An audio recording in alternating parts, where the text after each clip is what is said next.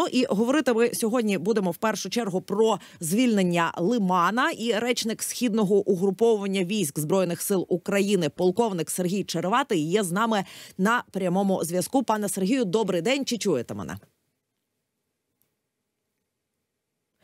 Пане Сергію, доброго дня. Чи чуєте мене? Так, чую вас. Е, дякую вам, що знайшли час поспілкуватися із нами, і е, трошки більше деталей попрошу вас розповісти про звільнення е, Лимана. Зокрема, ось ви вже повідомляли про те, що частина з окупантів в Лимані фізично знищена, частина взята в полон, частина змогла певними колонами або малими групами вийти. Про яку кількість йдеться, і власне куди тікали ті, кому вдалося вдалося якимось чином вибрати вибратись? Ну, кількість ще обліковується з огляду на те, що так важко підвести дуже швидко. Там угрупування було десь 5-5,5 тисяч. Просто в ну статистично підрахувати, скільки втрачено було фізично, і скільки втекло. Треба певний час, і аналітика буде дещо згодом. Е, Вони старались так малими групами уникати, уникаючи контакту з нашими військами, тікати лісами. Хто з колоннами, колони, як правило, не формували з вкрадених цивільних автомобілів.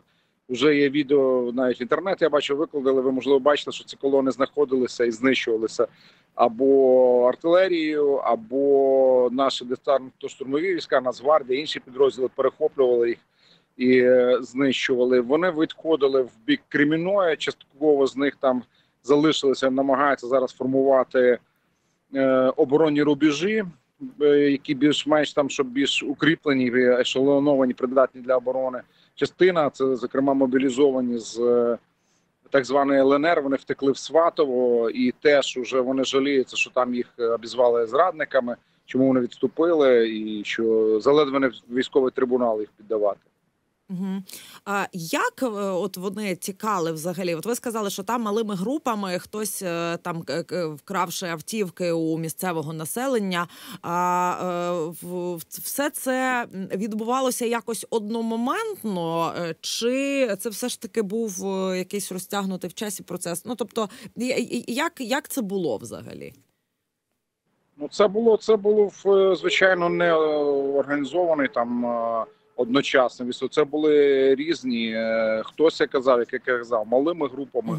Хтось формував колони, намагався виходити. Тобто, це ж не одна колона була, їх були там різні вони, і е, відповідно ми їх намагались де знайти, там знешкодити. Угу. А колона формувалася це за вказівками якогось їхнього керівництва, чи е, їх там на призволяще кинули?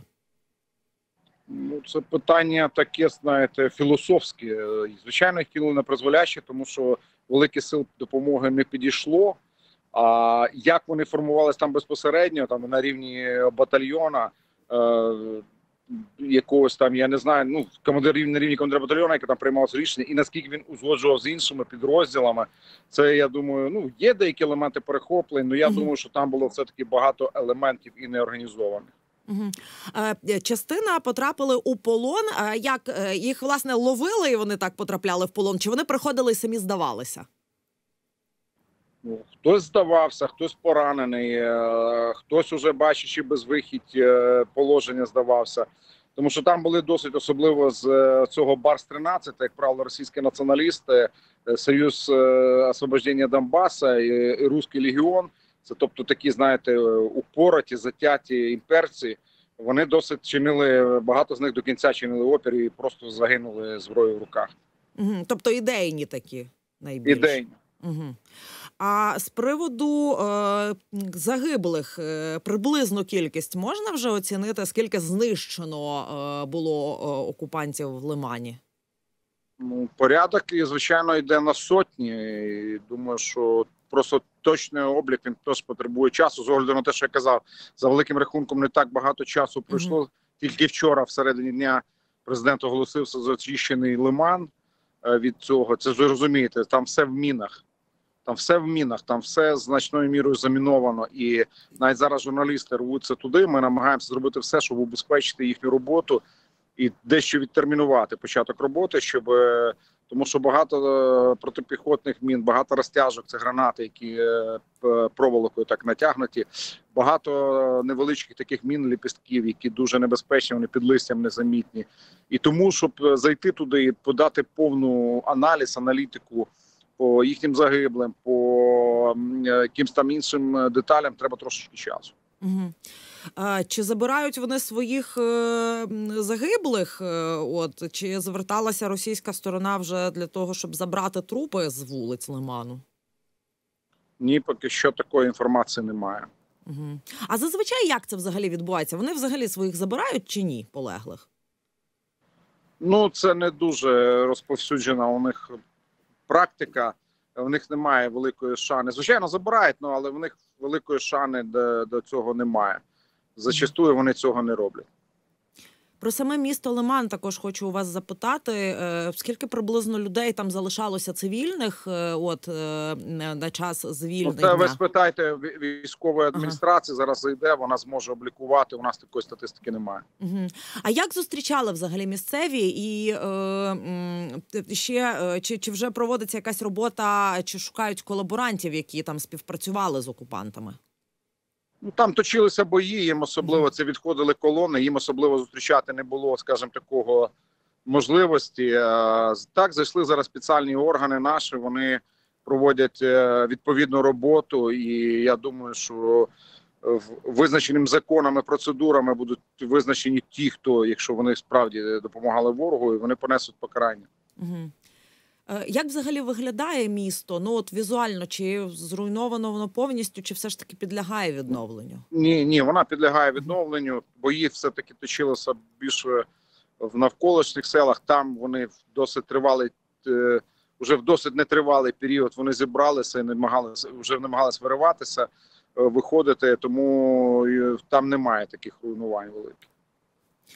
Е, Також про, е, про те, що зараз в місті хотіла би запитати, ну що вам відомо, які потреби зараз найбільше у місцевих? Я розумію, що це питання більше до військово-цивільної адміністрації, але що отак, от е, одразу кидається в очі, е, чого найбільше потребують е, саме мешканці звільненого міста? Ну, напевне, потребують якоїсь стабільності і налагодження цивільного життя. Над цим зараз працюють всі органи. Це і Донецька військова обласна адміністрація, наші органи цивільно-військового співробітництва. У нашій структурі є такі органи. Всебічно цьому допомагають. Збройні сили е, забезпечують безпеку цих процесів. Угу.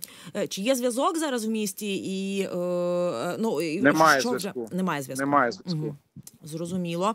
Зв'язку немає тільки там мінімально, коли є десь наші старлінки, там можливо зв'язатися. Мгм. Ну я так розумію, що над цим теж тільки пройде розмінування, почнуть працювати е, відповідні структури військової адміністрації, щоб протягнути туди е, структури, які зможуть відновити зв'язок.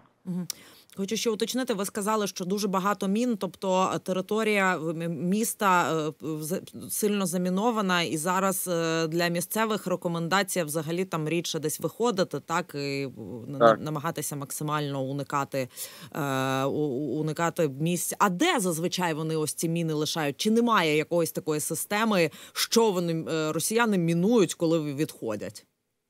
Ви знаєте, вони ще може нам залишили листівку. Ми залишили міни там. Тут вся прелість міни в тому, що вони їх залишають там, де ніхто не очікує. Вони Мгм. можуть їх в будинку приватному залишити. Мгм. Вони їх можуть залишити в школі. Не можуть їх залишити там, де ну на дорозі, е, е, в заходячи в якусь там, наприклад, посадку чи сад. Тобто для них немає таких визначених прямо однозначно місць, маркерів. Угу. Про листівки е, інші хочу запитати. Чи багато пропагандистських всяких матеріалів позалишали Так, вони багато. по собі? А розкажіть, що там було? Ну не встигли з ними ознайомитися. Я думаю, з часом можна буде почитати і сказати. Та й не дуже бажання було. Угу. Звичайно, заклики на референдум, е, заклики про те, що з Росії навсігда, а більше якось уже там. Ну вони такі, вони не дуже там супераналітичні. Це звичайні рівня там районної газети. Е, Вони роздавали плюс листівки, плюс ну це не одинока практика. Ще перші ми такі побачили, коли зайшли після таки їхнього виходу в Гастомель. У них теж там тоді були газета Красна звізда, і як ну у них цим добре поставлено. Вони на принтері друкували, їм присилали інтернетом. вони політінформація для солдат сержантів одного рівня, для офіцерів трошки кращого. Угу. Ще про те, що залишили окупанти, чи багато техніки вони тікаючи позалишали, і чи є серед неї справна? Так, є справна техніка більше спаленої, а і це ще але це потребує теж аналізу, тому що теж е, це ж її починають обліковувати наші логісти займатися вивченням цього питання. А про е, їхнє забезпечення на місцях, що можна сказати, от з огляду на того, що на на те, що вони е, залишали за собою? Бо ну на м, всіх звільнених територіях е, там рано чи пізно ми бачимо там, коли е, з'являються фотографії, відеоматеріали про те, як виглядає аптечка, сухпайок їхній, е, форма. Зрештою, чи забезпечені вони теплою формою були? Ну наскільки я бачив е, залишки їхніх е, цих е, тіл, вони не були забезпечені зимовою формою одягу. Ну, в принципі, та ж стандартна форма одягу, як у всіх військовослужбовців. Їх угу. нічого особливого. Пане Сергію, ще у вас хочу попросити для наших слухачів трошечки докладніше пояснити про взагалі значення Лиману як міста, як Ділянки фронту для росіян, чому е, їм важливо було його не полишати, і е, чому е, те, що Лиман звільнено, якби стратегічно важливо для України?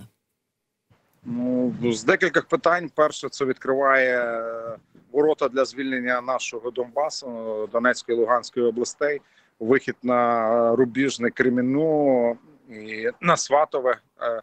Це а далі можна і на Лисичанський Сєвєродонецьк. Ну коли це визначить наш штаб, коли визначить всі рекогносцировку проведе, вивчить всі умови. Е, і Чи буде цей, напрямок зараз першочерговий, чи це буде інший? Це має бути для окупанта сюрпризом. Але це звичайно і ну і звичайно важливіший, не дуже важливий військово-політичний і психологічний момент, тому що в фактично в день, коли вони сказали, що вони приєднують ці землі, ми частину цих земель звільнили, і це неймовірно надихає наші війська, як такі операції, як Харківська, як Лиманська, надихає наші війська і наше населення, і навпаки, воно дуже деморалізує їхні війська, і їхнє населення, і їхню там спільноту цю псевдопатріотичну, яку вони там намагають зобразити в їхніх пабліках. Там просто зараз вистоїть. Е, вони вже там вони вже хочуть вводити військові трибунали. Ну замість того, щоб поновлювати техніку, якесь е, проходити вишкіл. Вони думають про те, як вводити трибунали, щоб ніхто не відступав далі. Е, ще трошки окремо хочу. Якщо вас... ми можемо, ми можемо. Я просив, щоб недовго, якщо можна. Ага, останнє запитання. Е, ви да. розповіли, хто був е, там на боці окупантів, воював. А я хотіла би у вас ще запитати назвати, що звісно можна говорити. Я розумію, що всіх е, таємниць розкривати не можна, але кому ми маємо завдячувати за звільнення Лимана, яким частинам, яким підрозділам збройних сил? Ну, частини я звичайно вам не скажу. Я вам скажу, можу ну, сказати види. Угу. Так. і на майбутнє просто ну трошки Отакі конкретика, вона дуже ну не дуже її можна говорити. Е, це були представники наших е, сухопутних військ е, всіх компонентів. Це піхота, це гірсько-штурмові підрозділи, це також танкові війська. Само собою, це були десантно-штурмові війська, які значну роль зіграли в цій операції. Представники національної гвардії, представники територіальної оборони і деяких інших сил оборони. Пане Сергію, я вам дуже дякую за включення. Дуже дякую за те, що знайшли е, час поспілкуватися із нами. Сергій Череватий, речник східного угруповання військ збройних сил України, полковник, е, був з нами на прямому зв'язку. Підписуйся на канал Радіо НВ. От тут.